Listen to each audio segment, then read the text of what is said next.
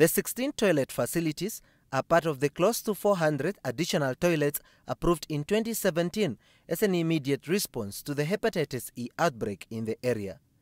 Amongst the factors of hepatitis E is poor sanitation services, hence initiatives such as this one, especially in informal settlements where basic services remains a challenge.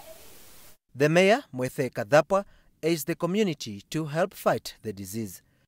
It is therefore crucial that we maintain very high standard of cleanliness and hygiene amongst ourselves. In addition, the council has taken a step to rehabilitate the existing toilets which were out of order due to vandalism. The constituency's councillor called on the community to take care of the facilities. It won't help if you have a toilet, but the toilet is hygienic, is, yeah, it's not clean, and then it creates another uh, problem again. The community welcomed the initiative and expressed appreciation.